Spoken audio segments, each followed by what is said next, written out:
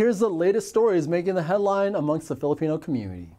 Today, Dr. Walensky will share. We begin with the White House COVID 19 response team saying that the U.S. has made tremendous progress in the fight against the virus, but they expect lawmakers to do their parts.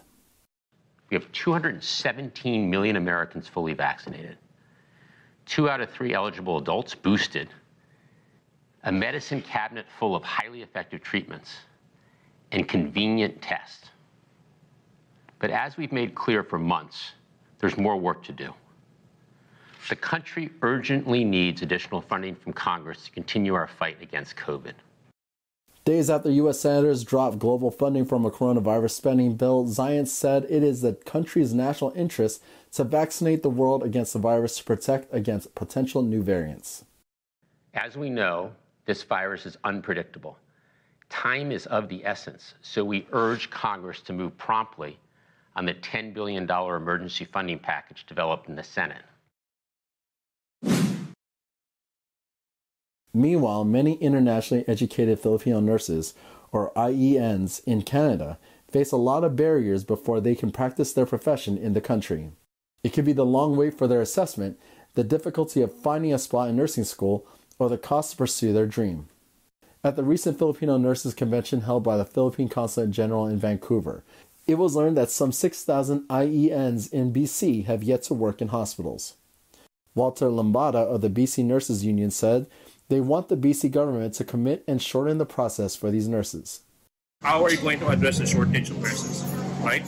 So opening a seats is a good point. You have 602 that will start next year. And how um, how are we going to provide it? That's a long term, and maybe how about the short term at this point of time?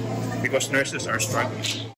There are also calls for BC to provide financial help to many IENs who are having a hard time supporting their family here while also paying for the cost of their education.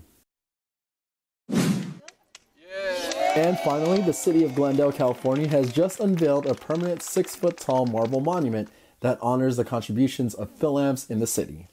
After two years of planning, the Filipino American Business Association of Glendale unveiled the Filipino American Friendship Monument outside of the Adult Recreation Center in the downtown area. For over 30 years, FABAG has been active in Glendale with outreach programs, community services, and cross cultural collaborations. It's a Pinoy pride for us. We are really very happy. And uh, this is friendship, gratitude, commemoration, tribute. Name it, we have it in this uh, monument. About 15,000 Filipinos live in Glendale, accounting for over 7% of its 200,000 residents, while many Filipino businesses are sprinkled throughout the city, which is adjacent to Los Angeles this is the city's first Filipino landmark.